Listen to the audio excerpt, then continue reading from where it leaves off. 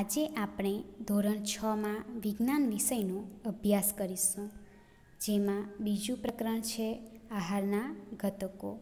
આપણે દરરોજ જે ખોરાક ખાઈએ છીએ તેમાં ઘણી વિવિધતા જોવા મળે છે. સ્કૂલમાં મધ્યાહન ભોજનમાં તમે દરરોજ અલગ અલગ ખોરાક લો છો. એ જ રીતે સવાર, બપોર અને રાત્રે પણ અલગ અલગ ખોરાક ખાઈએ છીએ. ભારતના અલગ અલગ રાજ્યોમાં પણ અલગ અલગ ખોરાક ખાવામાં આવે છે. આમ, ખોરાકમાં વિવિધતા જોવા મળે છે. ખોરાકમાંથી આપણને પોષક તત્વો મળે છે. પોષક દ્રવ્યો એટલે કે આપણા આહારમાં શરીર માટે જરૂરી કેટલાક આવશ્યક ઘટકો હોય છે, જેને પોષક દ્રવ્યો કહે છે. પોષક દ્રવ્યોમાં કાર્બોડિટ ચરબી, પ્રોટીન, વિટામિન, ખનિજ ક્ષાર પાચક રેસા અને પાણીનો સમાવેશ થાય છે. હવે આપણે ખોરાકમાં પોષક તત્વ હાજર છે કે નહીં તેની ચકાસણી કરીએ. તો સૌથી પહેલાં કાર્બોડિટનું પરીક્ષણ કરીએ. આજે આપણે ખાદ્ય પદાર્થમાં સ્ટાર્ચની હાજરી તપાસીશું. જેના માટે આપણે જોઈશે ચોખાનો લોટ કસનરી આયોડીનનું દ્રાવણ અને ડ્રોપર સૌપ્રથમ આપણે કસનરીમાં ચોખાનો લોટ લઈશું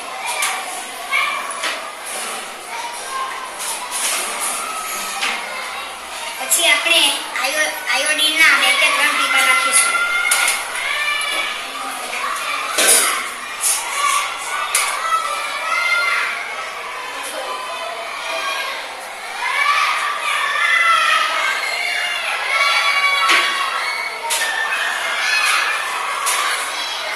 દ્રાવણનો રંગ ઘેરો ભૂરો થાય છે જે સ્ટાર્ચની હાજરી સૂચવે છે હવે આપણે ખાદ્ય પદાર્થમાં પ્રોટીનનું પરીક્ષણ જોઈએ. આજે આપણે ખાદ્ય પદાર્થમાં પ્રોટીનની હાજરી તપાસશું. તે માટે આપણને જોઈશે ફસનરી ચણાનો લોટ, કોપર સલ્ફેટનું દ્રાવણ, પૌષ્ટિક સોડાનું દ્રાવણ અને ડ્રોપર. સૌપ્રથમ આપણે ચણાના લોટની પેસ્ટ કસ્ટરીમાં ભરીશું.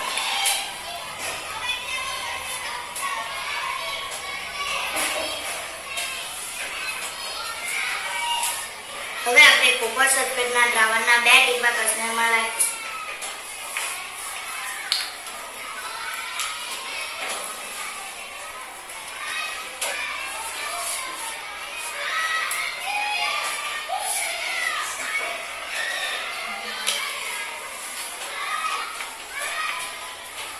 હવે આપણે પૌષ્ટિક સોડાના દ્રાવણના દસ ટીપા કસ્તરીમાં નાખીશું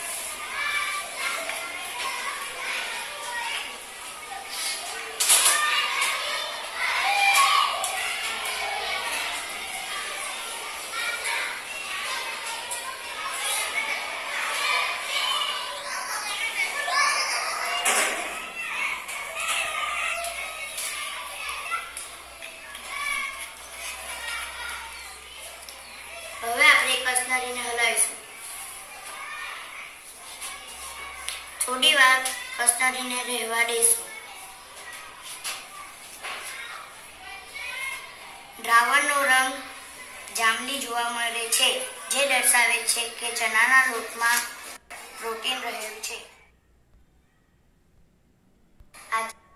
હવે આપણે ખાદ્ય પદાર્થમાં ચરબીનું પરીક્ષણ કરીએ. તો તેના માટે એક કાગળમાં શિંગદાણ લઈશું, કાગળમાં વીંટીને તેને છૂંડીશું તો આપણને કાગળ ઉપર તેલી ડાઘા જોવા મળે છે, જે ખાદ્ય પદાર્થમાં ચરબીની હાજરી સૂચવે છે.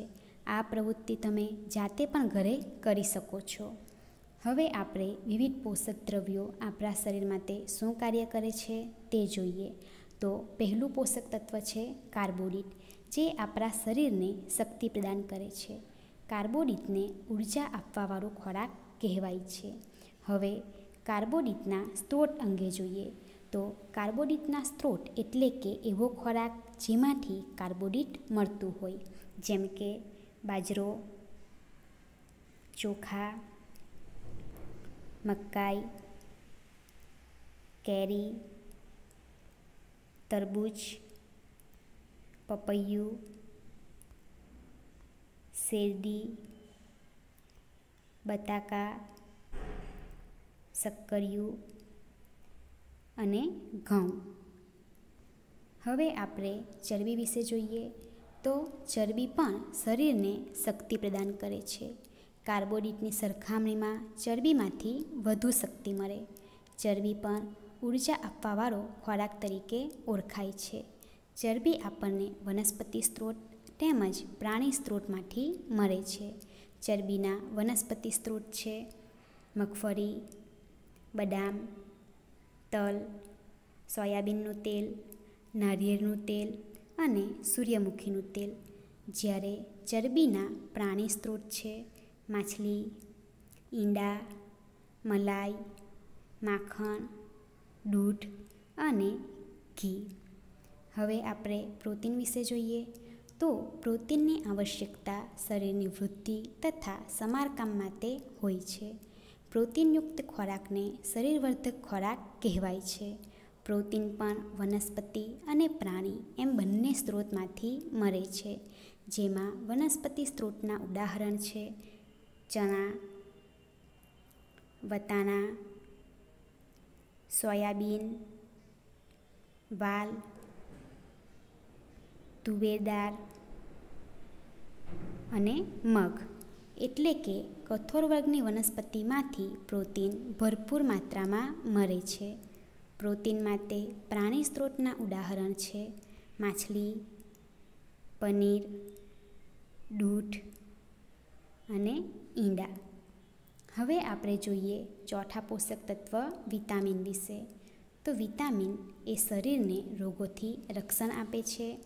વિટામિનના પ્રકાર છે vitamin A, vitamin B complex, vitamin C, vitamin D, vitamin E અને વિટામિન કે. આપણા શરીરને બધા વિટામિનોની અલ્પ માત્રામાં આવશ્યકતા રહેલી છે. જેમાં સૌથી પહેલાં વિટામિન એ વિશે જોઈએ તો વિટામિન એ આંખો તથા ત્વચાને તંદુરસ્ત રાખે છે. જેના સ્ત્રોત છે દૂધ માછલીનું તેલ, કેરી, ગાજર અને પપૈયું. હવે આપણે વિટામિન બી વિશે જોઈએ. તો વિટામિન બીના સ્ત્રોત છે ઘઉં, યકૃત અને ચોખા. તે જ રીતે વિટામિન સી વિશે જોઈએ તો વિટામિન સી ઘણા રોગો સામે લડત આપવામાં આપણા શરીરને મદદ કરે છે.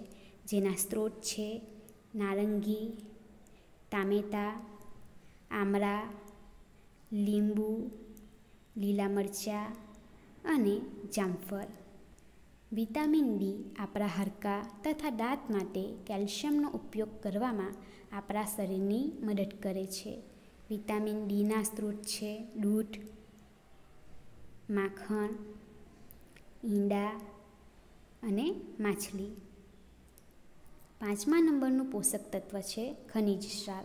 આપણા શરીરને ખનિજ ક્ષારોની અલ્પ માત્રામાં આવશ્યકતા હોય છે. શરીરના યોગ્ય વિકાસ તથા સારા સ્વાસ્થ્ય માટે પ્રત્યેક ખનિજ ક્ષાર આવશ્યક છે. ખનિજ ક્ષારમાં આયોડિન, ફોસ્ફરસ, આયન અને કેલ્શિયમનો સમાવેશ થાય છે. સૌથી પહેલાં આપણે આયોડિનના સ્ત્રોત જોઈએ.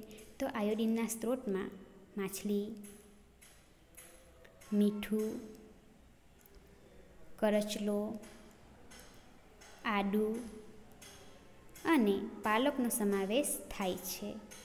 જ્યારે ફોસ્ફરસના સ્ત્રોતમાં ઘઉં, ચોખા, મરચાં કેરા અને દૂધનો સમાવેશ થાય છે. આયનના સ્ત્રોતમાં સફરજન, જમરૂખ યકૃત અને પાલકનો સમાવેશ થાય છે અને કેલ્શિયમના સ્ત્રોત તરીકે દૂધ અને ઈંડા છે. હવે આપણે પાચક રેસા વિશે જોઈએ. તો પાચક રેસા વૃક્ષાંશના નામે ઓળખાય છે. રેસાઓ અપાચિત ખોરાકને આપણા શરીરમાંથી બહાર કાઢવામાં મદદ કરે છે. વૃક્ષાંશ આપણને વનસ્પતિ ઉત્પાદનોમાંથી મળે છે. વૃક્ષાંશના મુખ્ય સ્ત્રોત અનાજ, દાળ, ફળ અને શાકભાજી છે. હવે છેલ્લે જોઈએ પાણી વિશે. તો પાણી આપણા આહારમાં રહેલા પોષક દ્રવ્યોનું શોષણ કરવામાં શરીરને મદદ કરે છે. તે કેટલાક નકામા પદાર્થો જેવા કે મૂત્ર અને પરસેવાને શરીરમાંથી બહાર કાઢવામાં પણ મદદ કરે છે. સામાન્ય રીતે આપણા શરીરને જેટલા પાણીની જરૂરિયાત છે તે પાણી આપણને એ દ્રવ્યમાંથી પ્રાપ્ત થાય છે જેને આપણે પ્રવાહી સ્વરૂપે લઈએ છીએ, જેમ કે પાણી, દૂધ અને ચા. આ ઉપરાંત આપણે જે ખોરાક રાંધીએ છીએ, તેમાં પણ પાણીનો ઉપયોગ કરીએ છીએ. તમને અનુભવ હશે કે ટામેટા કાપતી વખતે હાથ ભીના થાય છે, જે તેમાં પાણીની હાજરી સૂચવે છે. હવે આપણે સમતોલ આહાર વિશે ચર્ચા કરીએ. તો સમતોલ આહાર એટલે એવો આહાર જેમાં શરીર માટે આવશ્યક બધા જ પોષક ઘટકો તથા પર્યાપ્ત પાચક રેસાઓ અને પાણી પૂરતી માત્રામાં હાજર હોય. ખોરાકમાં કોઈ પણ પોષક દ્રવ્ય જરૂરિયાતથી વધુ કે ઓછું ન હોવું જોઈએ. સમતોલ આહાર માટે ધ્યાનમાં રાખવાની બાબતો નીચે મુજબ છે કે આહાર યોગ્ય રીતે રાંધેલો હોવો જોઈએ. શાકભાજી કે ફળોનો છાલ સાથે જ ઉપયોગ કરવો જોઈએ. અનાજ અને કઠોર વારંવાર ધોવા જોઈએ નહીં અને હંમેશા ચરબીયુક્ત ખોરાક ખાવો એ સ્વાસ્થ્ય માટે હાનિકારક છે. અંતમાં તૃતિજન્ય રોગો વિશે જોઈએ તો એ રોગ કે જે પોષક દ્રવ્યના લાંબા સમય સુધીના અભાવને કારણે થાય છે તેને ત્રુટિજન્ય રોગ કહે છે. તૃતિજન્ય રોગને સમતોલ આહાર લેવાથી અટકાવી શકાય છે. કેટલાક ત્રુટિજન્ય રોગો અને ચિહ્નો જોઈએ. તો પહેલો ત્રુટિજન્ય રોગ છે રતાંદ્રા પડો જે વિટામિન એની ઉણપથી થાય છે. જેના ચિહ્ન છે નબળી દ્રષ્ટિ, રાત્રે ઓછું દેખાવું અને ક્યારેક સંપૂર્ણપણે દેખાતું બંધ થઈ જવું. બીજો ત્રુટિજન્ય રોગ છે બેરી બેરી જે વિટામિન બી વનની ઉણપથી થાય છે, જેના ચિહ્ન છે નબળા સ્નાયુઓ તથા કામ કરવા માટે ઓછી શક્તિ. ત્રીજો તૃતિજન્ય રોગ છે સ્કર્વી, જે વિટામિન સીની ઉણપથી થાય છે, જેના ચિહ્ન છે પેઢામાંથી લોહી નીકળવું ઘામાં રૂજ આવવા માટે વધુ સમય લાગવો.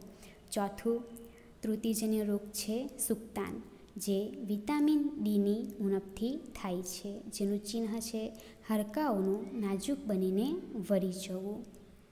આગળનો તૃતિજન્ય રોગ છે હાડકાં અને દાંતનો કોહવાટ જે કેલ્શિયમની ઉણપથી થાય છે, જેનું ચિહ્ન છે નબળા હાડકાં અને દાંતમાં સરો થવો. આગળનો તૃતિજન્ય રોગ છે ગોઈટર, કે જે આયોડિનની ઉણપથી થાય છે, જેનું ચિહ્ન છે, ગરદનમાં આવેલ ગ્રંથિ ફૂલી જવી અને બાળકોમાં માનસિક મંદતા જોવા મળે છે. અને છેલ્લો ત્રુટિજન્ય રોગ છે, પાંદુ રોગ, એટલે કે એનિમિયા, કે જે આયનની ઉણપથી થાય છે, જેનું ચિહ્ન છે, નબળાઈ એટલે કે અશક્તિ આવી જવી.